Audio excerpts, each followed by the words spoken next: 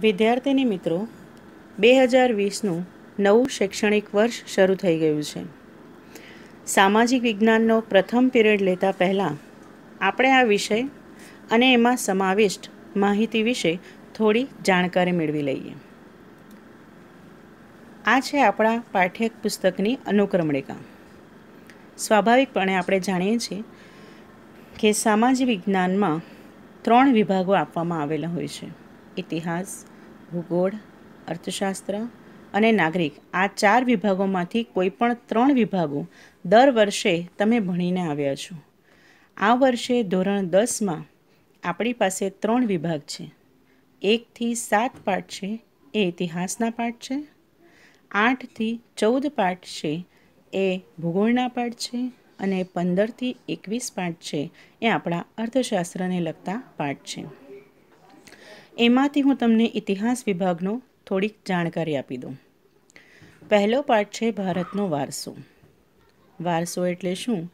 વિદ્યાર્થીનીઓ, આપણે સ્વાભાવિકપણે, સામાન્યપણે, આપણે એટલું તો જાણીએ જ છીએ કે વારસો એટલે આપણને આપણા પૂર્વજો તરફથી મળેલી કોઈ પણ પ્રકારની ભેટ. તો આપણને અત્યાર સુધી આપણા ભારતના પૂર્વજોએ જે જે ભેટ, જે જે વારસા સ્વરૂપે આપ્યું છે એનો અભ્યાસ આપણે આ પાઠમાં કરવાનો છે. વારસાના બે પ્રકાર છે, પ્રાકૃતિક વારસો અને સાંસ્કૃતિક વારસો. આ બંને પ્રકારો પર આધારિત આગળના આપણા બીજા પાંચ પાઠ છે, કે જે સાંસ્કૃતિક વારસાને આધારિત છે. બીજા પાઠમાં આપણે હસ્ત અને લલિત કલાઓનો અભ્યાસ કરીશું. ત્રીજા પાઠમાં શિલ્પ અને સ્થાપત્યનો ચોથા પાઠમાં આપણે સાહિત્યિક વારસો, એટલે કે જે આપણને પુસ્તકો સ્વરૂપે મળ્યું છે, તે વારસાનો અભ્યાસ કરીશું. ઉપરના ચાર પાઠ જો આપણે ભણીશું, તો કદાચ તમને એવું થશે કે ભારત પાસે ફક્ત ધાર્મિક દ્રષ્ટિબિંદુ જ છે? કંઈ આધુનિક દ્રષ્ટિબિંદુ છે કે નહીં? ફક્ત મંદિરો, મસ્જિદો, સ્થાપત્યો એની જ વાતચીત આવે છે? તો ના મિત્રો, આપણને આપણા ભારત પાસે પહેલાંના સમયમાં, પ્રાચીન સમયમાં પણ આપણી પાસે આધુનિક દ્રષ્ટિબિંદુ હતું. એ સાબિત કરવા માટે અને એનાથી તમને માહિતગાર કરવા માટે પાંચમો પાઠ તમારા પુસ્તકમાં મૂકવામાં આવ્યું છે. વિજ્ઞાન અને ટેકનોલોજીનો વારસો. ત્યાર પછી છઠ્ઠો પાઠ છે, સાંસ્કૃતિક વારસાના સ્થળો, જેમાં વિશ્વની સાત અજાયબીઓમાંનો એક આપણું તાજમહેલનો પણ સમાવેશ થાય છે.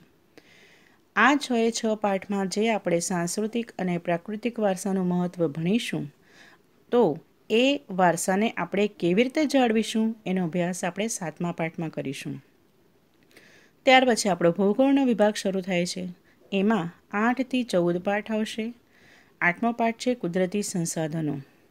સંસાધન વિશે તમે ધોરણ આઠમાં ખૂબ સારી રીતે ભણી ગયા છો. તો આ જે સંસાધનો છે, કયા કયા સંસાધનો છે અને કેવી રીતે ઉપયોગમાં આવે છે, એ જ આપણા દસમા ધોરણના ભૂગોળમાં પણ મૂકવામાં આવ્યું છે. નવમા પાઠમાં આપણે આપણું એક કુદરતી સંસાધન વન અને વન્યજીવન વિશે અભ્યાસ કરીશું. દસમા પાઠમાં આપણો કૃષિ વિશે અભ્યાસ કરીશું. ભારત એક ખેતી પ્રધાન દેશ છે, તો એની ઉપયોગિતા આપણને કેવી રીતે આપણે જાણી શકીએ એના વિશે આપણે અભ્યાસ કરીશું. અગિયારમો પાઠ છે, જળ સંસાધન. જળ એ જ જીવન છે. મિત્રો, આપણે જાણીએ છીએ કે જો આપણે એક દિવસ પણ પાણી વગર રહીએ તો આપણે આકુળ વ્યાકુળ થઈ જઈએ છીએ. સાંજ સુધીમાં તો આપણને પાણીની મહત્ત્વતા સમજાઈ જાય છે.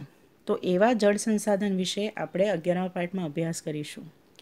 પૃથ્વીના પેટાળમાં જે અઢળક સંસાધન છે કે જેને આપણે ખનિજો તરીકે ઓળખીએ છીએ, એવા ખનિજોનો અભ્યાસ આપણે બારમા પાઠમાં કરીશું અને એ ખનિજો દ્વારા આપણે જે કઈ વસ્તુનું ઉત્પાદન કરીએ છીએ એવા ઉત્પાદન અને ઉદ્યોગો વિશે તેરમા પાઠમાં અભ્યાસ કરીશું. ચૌદમો પાઠ છે પરિવહન, એટલે એક જગ્યાએથી બીજી જગ્યાએ માલસામાન માનવી અથવા બંનેની હેરફેર. સંદેશા વ્યવહાર, જેના વિશે તમે ખૂબ સારી રીતે જાણો છો. મોબાઈલ, ટેલિફોન, ટેલિગ્રામ, આ ઉપરાંત ટપાલ વ્યવસ્થા. અને વ્યાપાર, એટલે આંતરરાષ્ટ્રીય અને આંતરિક વ્યાપાર. અહીંયા આપણો ભૂગોળનો વિભાગ પૂરો થશે. ત્યાર પછી પંદરમા પાઠથી આપણો અર્થશાસ્ત્રની શરૂઆત થશે. આર્થિક વિકાસ. વિકાસ એટલે શું એ તમે સારી રીતે જાણો છો મિત્રો? પણ અહીં છે આર્થિક વિકાસ એટલે અર્થતંત્રનો વિકાસ. વિશ્વના અર્થતંત્રમાં આપણું ભારત કયો સ્થાન ધરાવે છે? અને આપણે હજુ કેટલા આગળ વધી શકીએ છીએ? એના વિશેની માહિતી આર્થિક વિકાસમાં આપવામાં આવી છે. સોળમા પાઠમાં ઉદારીકરણ. નામ પરથી જ ખ્યાલ આવે છે કે સરકારે ઉદ્યોગો સાથે જે ઉદારીકરણ કર્યું અને વૈશ્વિકીકરણ એટલે ભારતના અર્થતંત્રને વિશ્વના અર્થતંત્ર સાથે જોડવાની પ્રક્રિયા, એનો અભ્યાસ કરવામાં આવશે. સત્તરમા પાઠ છે, આપણી આર્થિક સમસ્યાઓ ગરીબી અને બેરોજગારી. મિત્રો, એવું કહેવાય છે કે ગરીબી અને બેરોજગારી એ સગી બહેનો છે. જેમ બે સગી બહેનો એક જ ઘરમાં રહેતી હોય, એમ જ્યાં ગરીબી હશે એ ઘરમાં બેરોજગારી આવશે જ અને જ્યાં બેરોજગારી હશે એ ઘરમાં ગરીબી પોતાનું સ્થાન મેળવી જ લેશે. ત્યાર પછીની બીજી સમસ્યા છે અઢારમા પાઠમાં ભાવ વધારો અને ગ્રાહક જાગૃતિ. અત્યારે આ લોકડાઉનના પિરિયડ પછી આપણે જાણીએ છીએ કે કેટલી બધી વસ્તુઓમાં ઘણું બધું ભાવ વધારો થઈ ગયો છે. તો ભાવ વધારો શા માટે થાય છે? એને કેવી રીતે રોકી શકીએ?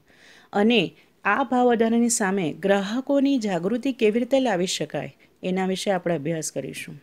ઓગણીસમો પાઠ છે, માનવ વિકાસ.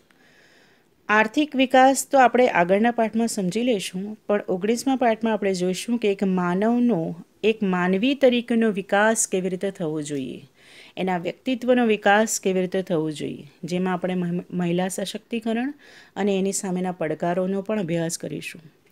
વીસમા પાઠમાં આપણે ભારતની સામાજિક સમસ્યાઓ અને પડકારોનો અભ્યાસ કરીશું. સામાજિક સમસ્યાઓ એટલે એમાં આતંકવાદ, બળવાખોરી, લઘુમતી વગેરે જેવી જુદી જુદી સમસ્યાઓનો અભ્યાસ કરીશું. અને છેલ્લો પાઠ છે સામાજિક પરિવર્તન. સામાજિક પરિવર્તનમાં બાળકોની સમસ્યાઓ, વૃદ્ધોની સમસ્યાઓ એવી જુદી જુદી સમસ્યાઓ વિશે આપણે અભ્યાસ કરીશું. તો મિત્રો મારી દૃષ્ટિએ આ પાઠ્યપુસ્તકનો જો સૌથી સહેલો અને સરળ પાઠ હોય, તો તે છે વન અને વન્યજીવ સંસાધન. એવું કહેવાય છે. શિક્ષણનો એક વણલેખાયો નિયમ છે કે ભાઈ હંમેશા સરળથી અઘરા તરફ જવું. તો આપણે પણ સૌથી પહેલાં સૌથી સરળ પાઠને લઈશું. અને એ છે વન અને વન્યજીવ સંસાધન. વન એટલે જંગલો. અને વન્યજીવ એટલે કે જંગલમાં વસતા પ્રાણીઓ. અને સંસાધનનો અર્થ તમને મેં આગળ પણ કહ્યો છે. સંસાધન એટલે માનવીને ઉપયોગમાં આવે તેવી વસ્તુઓ. તો આપણે આ પાઠમાં જંગલો અને જંગલોમાં જે વસતા પ્રાણીઓ છે, એના વિશે, એના ઉપયોગ વિશે અને એમના વિનાશના કારણો વિશે અભ્યાસ કરીશું.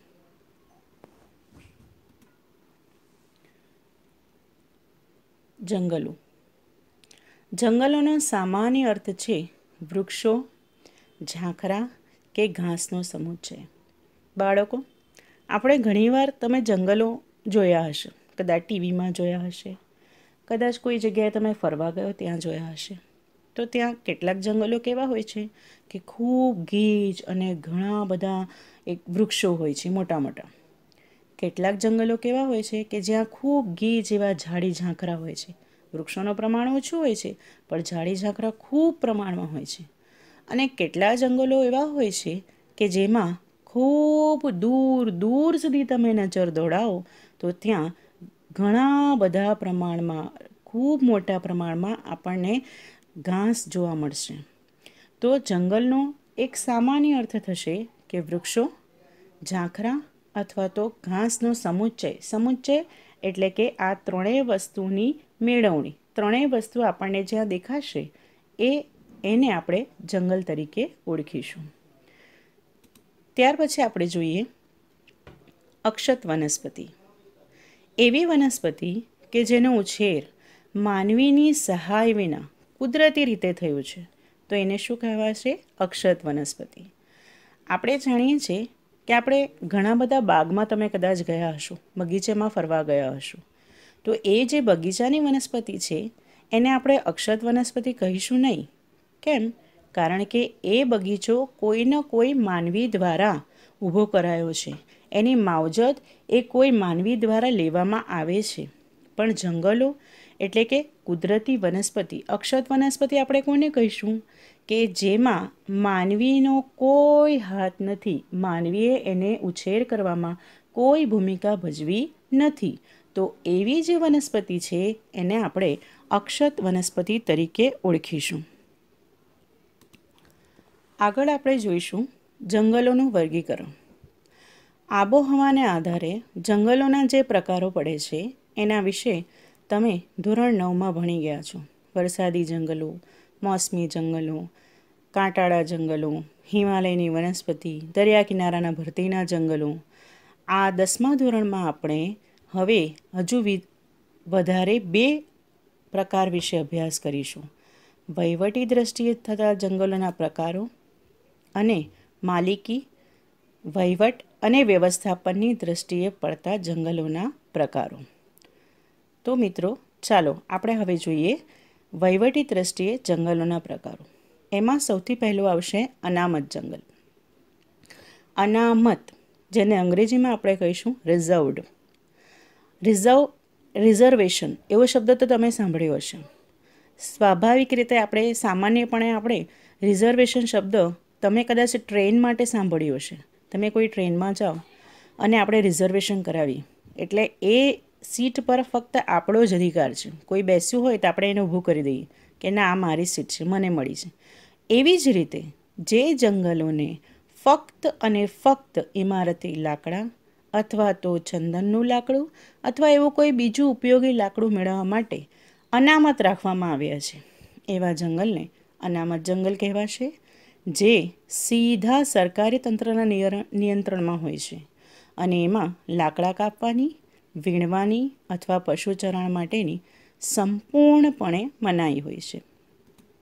ત્યાર પછી બીજા છે સંરક્ષિત જંગલો.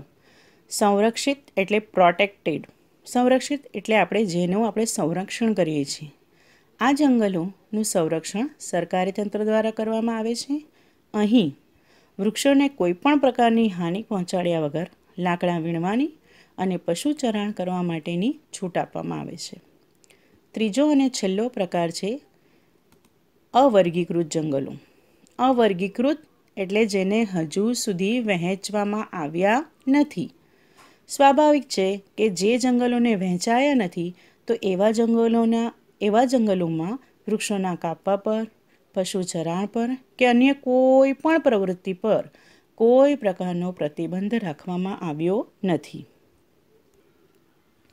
ત્યારબાદ આપણે આગળ જોઈશું માલિકી, વહીવટ અને વ્યવસ્થાપનની દૃષ્ટિએ પહેલો પ્રકાર છે રાજ્ય માલિકીનું જંગલ. વિદ્યાર્થી મિત્રો, માલિકી.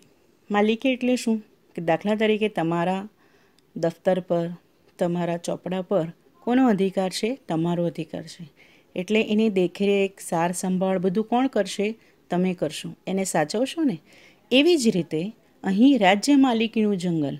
એટલે અહીંયા જે જંગલો છે એ કોની માલિકીના છે? રાજ્યની માલિકીના છે. તો સ્વાભાવિક છે કે એનું નિયંત્રણ અને એની સાર સંભાળ કોણ લેશે? રાજ્ય સરકાર. તો આ પ્રકારના જે જંગલો છે, એના ઉપરનું નિયંત્રણ રાજ્ય કે કેન્દ્ર સરકારનું હોય છે? દેશના મોટાભાગના જંગલો આ વિસ્તારના પ્રકારમાં આવે છે. ત્યાર પછી આમાં બીજો પ્રકાર છે સામુદાયિક વન. સામુદાયિક વનમાં સ્થાનિક સ્વરાજ્યની સંસ્થાઓ. સ્થાનિક સ્વરાજ્યની સંસ્થાઓમાં નગરપાલિકા મહાનગરપાલિકા, ગ્રામ પંચાયત, જિલ્લા પંચાયત વગેરેની હદમાં આવતા જે જંગલો છે, એ સામુદાયિક વનમાં આવશે અને એના ઉપર આ બધી સ્થાનિક સ્વરાજ્યોની સંસ્થાઓનું નિયંત્રણ રહેશે. ત્રીજો પ્રકાર છે, ખાનગી જંગલ. ખાનગી જંગલ એટલે પ્રાઇવેટ. પ્રાઇવેટ એટલે કે કોઈ વ્યક્તિની માલિકી. ઓરિસ્સા, મેઘાલય, પંજાબ, હિમાચલ પ્રદેશ વગેરે જેવા રાજ્યોમાં આવા જંગલો વિશેષ પ્રમાણમાં જોવા મળે છે. તો વ્યક્તિગત માલિક એટલે છે શું? કે કોઈ વ્યક્તિની માલિકી હોય તો સ્વાભાવિક છે કે એને સાર સંભાળ એની જાળવણી કોણ કરશે? કે જે વ્યક્તિ એ જંગલનો માલિક હશે તે. તો એવી રીતે આપણે હવે જોઈએ તો જંગલોનું વર્ગીકરણ બે પ્રકારે થાય છે. વહીવટી દ્રષ્ટિએ અને બીજો પ્રકાર છે માલિકી વહીવટ અને વ્યવસ્થાપનની દ્રષ્ટિએ. વહીવટી દ્રષ્ટિએ જંગલના ત્રણ પ્રકાર પડે છે. અનામત જંગલો, સંરક્ષિત જંગલો અને અવર્ગીકૃત જંગલો. જ્યારે માલિકી, વહીવટ અને વ્યવસ્થાપનની દૃષ્ટિએ જંગલોના ત્રણ પ્રકાર પડે છે. રાજ્ય માલિકીનું જંગલ, સામુદાયિક વન અને ખાનગી જંગલ. મિત્રો, જંગલો વિશે આપણે ઘણી બધી માહિતી મેળવી લઈએ. આગળ આપણે જોઈશું નિર્વનીકરણ. નિર્વનીકરણ એટલે જંગલોનું નષ્ટ થવું. આપણે જાણીએ છીએ કે આજે ખૂબ ઊંચા પ્રમાણમાં જંગલોનો વિનાશ થઈ રહ્યો છે. આપણા દેશમાં નહીં, પણ સમગ્ર વિશ્વમાં આ એક મુખ્ય સમસ્યાઓમાંની એક સમસ્યા છે. આપણે વિકાસ તો કરીએ છીએ. વિકાસની દોડમાં આપણે એટલા બધા આગળ વધી ગયા છે કે આપણે એના માટે કુદરતને, પ્રકૃતિને પાછળ રાખી દીધી છે. અને એના માટે વિકાસ માટે આપણે જે આપણી પ્રક્રિયાઓ છે, દાખલા તરીકે આપણે જોઈએ તો શહેરીકરણ છે, ત્યાર પછી બહુહેતુક યોજનાઓ છે, જેના માટે અસંખ્ય પ્રમાણમાં વૃક્ષોની કાપણી કરવામાં આવે છે અને એને કારણે વૃક્ષો નાશ પામે છે અને માનવીની આવી હસ્તક્ષેપને કારણે જંગલોનો વિનાશ થાય છે, જેને નિર્વનીકરણ કહેવામાં આવે છે. તો વિદ્યાર્થી મિત્રો, આપણે જોઈએ કે નિર્વનીકરણ. એટલે કે જંગલોનો જ્યારે નાશ થાય છે, તો આપણને એની કઈ કઈ અસરો અનુભવાય છે. શું બનાવ બને છે? શું એવી અસરો ઊભી થાય છે કે જેને કારણે જંગલોનો નાશ થાય છે અને એને પરિણામે પૃથ્વીનો પણ વિનાશ થાય છે. નિર્વનીકરણની અસરો આપણે જોઈએ તો એમાં સૌથી પહેલાં છે સીઓ ટુ એટલે કે કાર્બન ડાયોક્સાઇડની માત્રા વધે છે. મિત્રો, આપણે જાણીએ છીએ કે આપણે શ્વાસમાં ઓક્સિજન લઈએ છીએ અને ઉચ્છવાસમાં આપણે કાર્બન ડાયોક્સાઇડને બહાર કાઢીએ છીએ. જ્યારે જે વનસ્પતિ છે, એ શ્વાસમાં કાર્બન ડાયોક્સાઇડ લે છે અને ઓક્સિજનને બહાર કાઢે છે. એટલે આ જે બેલેન્સ થાય છે, સંતુલન બને છે, એને કારણે આપણી પ્રકૃતિ પર સીઓ ટુ અને ઓક્સિજનની માત્રા જળવાયેલી રહે છે. હવે આપણે બધા વૃક્ષો જ કાપી નાખીએ છીએ, તો એને કારણે ધીમે ધીમે ધીમે જે વનસ્પતિ ઓક્સિજન બહાર કાઢે છે, એનું પ્રમાણ ઓછું થઈ જાય છે. પરિણામે વાતાવરણમાં સીઓ ટુનું પ્રમાણ, એટલે કે કાર્બન ડાયોક્સાઇડનું પ્રમાણ વધે છે અને ઓક્સિજનનું પ્રમાણ ઘટી જાય છે. ત્યાર પછી એની બીજી અસર છે ગ્રીન હાઉસ ઇફેક્ટ વધારે ઘેરી બને છે. ગ્રીન હાઉસ ઇફેક્ટ એટલે આપણે જાણીએ છીએ, વિજ્ઞાનમાં તમે ભણો છો કે પૃથ્વી પર જે વાતાવરણ છે, એમાં ઘણા બધા વાયુઓનું સ્તર છે. એમાંથી એક છે ઓઝોન વાયુ, જે સૂર્યના પારજાંબલી કિરણોથી આપણી પૃથ્વીનું રક્ષણ કરે છે. પણ પ્રદૂષણને કારણે એ ઓઝોન વાયુના સ્તરમાં ગાબડું પડી ગયું છે અને એનું પ્રમાણ ઘટવા માંડ્યું છે. અને એને કારણે સૂર્યના પારજાંબલી કિરણો સીધા પૃથ્વી પર આવે છે. પરિણામે આપણી પૃથ્વી પર ખૂબ વધારે ચામડીના રોગો, આ ઉપરાંત ચામડીના રોગો અસ્તિત્વમાં આવ્યા છે અને એ પારજામલી કિરણોથી આપણી કુદરતી વનસ્પતિને પણ નુકસાન થાય છે. ત્યારબાદ આપણે જોઈએ માટીનું થતું ધોવાણ, કે જેનાથી ખેતીની ફળદ્રુપતા ઘટી જાય છે. માટીનું ધોવાણ થાય છે.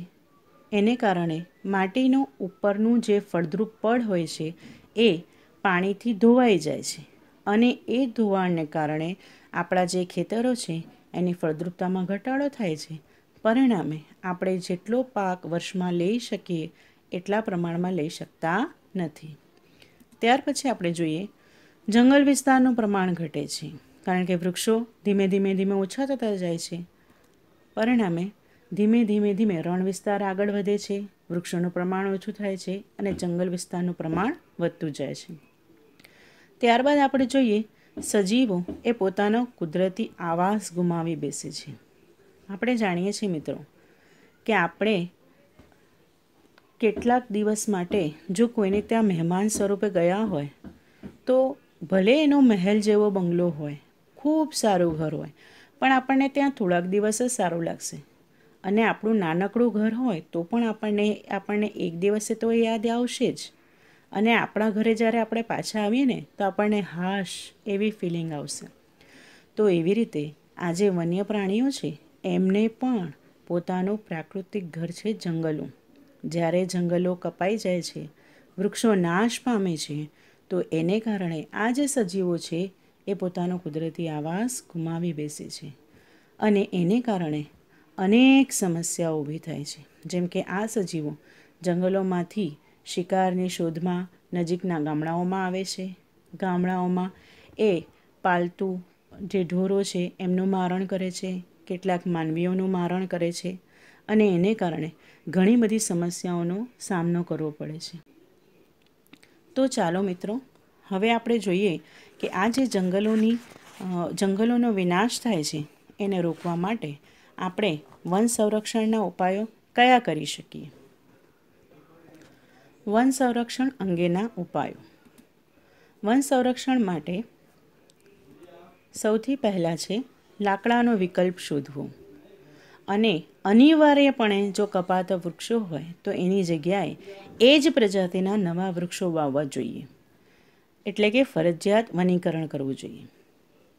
ત્યાર પછી છે જે ઉદ્યોગો જંગલોમાંથી કાચો માલ મેળવે છે તેને ભવિષ્યની જરૂરિયાત માટે વનીકરણની ફરજ પાડવી જોઈએ. ત્યારબાદ, લાકડાનો વિકલ્પ શોધવો. લાકડાનો વિકલ્પ શોધવો એટલે શું? કે દાખલા તરીકે, પહેલાંના સમયમાં આપણે જાણીએ છીએ કે ભાઈ જે ઘરો છે, એ તે સમયે લાકડાના બનતા હતા. એમાં ઘણું બધું લાકડાનો ઉપયોગ થતો હતો. હવે આપણે એની જગ્યાએ સિમેન્ટ અને એના મકાનો બનાવીએ છીએ. બીજું છે કે જે આપણા ઘરના ફર્નિચર છે, જે લાકડામાંથી બને છે તો એનો ઉપયોગ આપણે શું લઈ શકીએ? તો જુદા જુદા ધાતુઓ લઈ શકીએ, લોખંડ લઈ શકીએ, ત્યાર પછી પ્લાસ્ટિક લઈ શકીએ.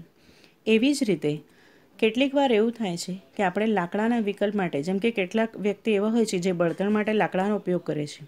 તો એનો વિકલ્પ શું કરી શકાય? તો ભાઈ આપણે સૌર ઉર્જાનો ઉપયોગ કરી શકીએ. ત્યાર પછી આપણે બાયોગેસ, કે જે ખૂબ સસ્તી ઊર્જા છે, એનો ઉપયોગ આપણે કરી શકીએ. બીજું છે કે કેટલાક ઉદ્યોગો એવા હોય છે કે જંગલમાંથી કાચો માળ મેળવે છે. કે જંગલમાંથી જ એમને વૃક્ષોના સ્વરૂપે કાચો માલ મળે છે અને એ કાચા માલ દ્વારા જ ઉદ્યોગોની શરૂઆત થઈ શકે છે. તો એવા જે ઉદ્યોગો છે, એમને ફરજિયાત વનીકરણ ફરજિયાત વનીકરણ એટલે એ લોકોને ફરજ પાડવી જોઈએ કે એમણે એટલા જ, જેટલા પ્રમાણમાં એમણે વૃક્ષો કાપ્યા છે, એટલા જ પ્રમાણમાં એમણે નવા વૃક્ષો ઉગાડવા પડશે. ઇકો ટુરિઝમના વિકાસ સાથે જંગલોના નિયમનું કડક રીતે પાલન કરવું. જનજાગૃતિના કાર્યક્રમોનું આયોજન. ઇકો ટુરિઝમના વિકાસ સાથે જંગલોના નિયમનું કડક રીતે પાલન. ઇકો ટુરિઝમ એટલે મિત્રો, આપણે જે આપણા પૃથ્વી પર આવેલા જે કુદરતી તત્વો છે, જંગલો છે, પ્રાણીઓ છે, વૃક્ષો છે, જે નૈસર્ગિક સૌંદર્ય છે, એને જોવા માટે જ્યારે આપણે જઈએ છીએ તો ત્યાં યાત્રિકો હજારોની માત્રામાં જાય છે અને ત્યાં જઈને ખૂબ પ્રમાણમાં કચરો કરે છે. તો જ્યારે આવા સ્થાનોને જોવા માટે આપણે જઈએ છીએ, તો આપણે જંગલોના જે નિયમો છે, એના માટે આપણે એ નિયમોનું કડક રીતે પાલન કરવું જોઈએ. ત્યારબાદ આપણે જોઈએ તો જનજાગૃતિના કાર્યક્રમોનું આયોજન કરવું જોઈએ. જનજાગૃતિ કેવી રીતે લાવી શકાય? જનજાગૃતિ લાવવા માટે એક સૌથી પહેલું અને ખૂબ સારું ઉદાહરણ છે ચિપકો આંદોલન. ઉત્તરાખંડના તહેરી ગઢવાલ જિલ્લામાં ચિપકો આંદોલન થયું હતું, જે સુંદરલાલ બહુગુણાના નેતૃત્વ નીચે થયું હતું. ત્યાંના લોકોએ ત્યાંના જંગલોને બચાવવા માટે આ આંદોલન કર્યું હતું. એટલે જો લોકો પોતે જ જાગૃત હશે, તો કદાચ સરકારના કોઈ નિયમોની પણ આપણને જરૂર પડશે નહીં. અને ચોક્કસ આપણે આપણું જે વન સંસાધન છે, જંગલો છે, એનું રક્ષણ કરી શકીશું. ત્યારબાદ આપણે જોઈએ શાળા કોલેજોના પાઠ્યક્રમોમાં વન સંરક્ષણની જરૂરિયાતોનો સમાવેશ કરવો. આ ઉપરાંત દાવણના શમન માટે રાષ્ટ્રીય સ્તરે અલાયદું તંત્ર કે દળ ઊભું કરવું. શાળા કોલેજોના પાઠ્યક્રમોમાં વન સંરક્ષણની જરૂરિયાતોનો સમાવેશ. એના માટે તો મિત્રો, હું તમને સૌથી સહેલું ઉદાહરણ આપીશ કે તમે અત્યારે જે આ પાઠ ભણી રહ્યા છો અને એની આગળના વર્ષોમાં આને લગતા, જંગલને લગતા જેટલા પાઠો ભણી ગયા છો, એના આધારે તમે જંગલોના મહત્ત્વ વિશે, એમાં ઉગતા વૃક્ષો વિશે, એની જાળવણી વિશે તમે જાણકારી મેળવી હશે. તો આજના જો વિદ્યાર્થીઓ એના વિશે, જંગલો વિશે જાગૃત હશે, પાઠ્યક્રમોમાં વાંચીને જાણી લેશે તો કદાચ ભવિષ્યમાં એ લોકો જ્યારે જવાબદાર નાગરિક બનશે, તો ચોક્કસ અને ચોક્કસ એ પોતાના દેશના જંગલોનું રક્ષણ કરશે. ત્યારબાદ છે, દાવાનળના શમન માટે રાષ્ટ્રીય સ્તરે અલાયદું તંત્ર કે દળ ઊભું કરવું. જંગલમાં જ્યારે દાવાનળ લાગે છે, દાવાનળ એટલે જંગલમાં લાગતી આગ.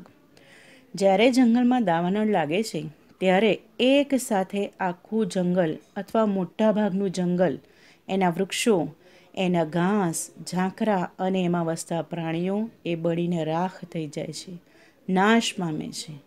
અને દાવાનળ એ જંગલ માટેની ખૂબ મોટી સમસ્યા છે. તો મિત્રો, એના માટે સરકાર દ્વારા દાવાનળના શમન માટે રાષ્ટ્રીય સ્તરે એક અલાયદું અલાયદું એટલે કે એક અલગ વિભાગ ઊભો કરવું જોઈએ કે જેના દ્વારા સારી રીતે ખૂબ સરળ રીતે અને ખૂબ ઝડપથી જંગલમાં લાગતી આગને આપણે અટકાવી શકીએ. આમ, વન સંરક્ષણ અંગેમાંનો છેલ્લો ઉપાય છે ધાર્મિક આસ્થા કેન્દ્રો, મેળા, ભંડારા સમયે કચરાના યોગ્ય નિકાલની વ્યવસ્થા કરવી. પશુચરાણ માટે અલાયદા વિસ્તારો રાખવા. ધાર્મિક આસ્થા કેન્દ્રો, મેળા, ભંડારા સમયે કચરાના નિકાલની યોગ્ય વ્યવસ્થા. આપણે જાણીએ છીએ મિત્રો કે આપણે કોઈક જગ્યાએ જ્યારે કોઈ મેળો હોય અથવા કોઈ ધાર્મિક એવું સ્થાન છે કે જ્યાં નજીકમાં નદી આવેલી હોય, તો એ નદીમાં કેટલો બધો પૂજાપો ત્યાર પછી ફૂલો, નાળિયેર વગેરે જેવું પધરાવવામાં આવે છે.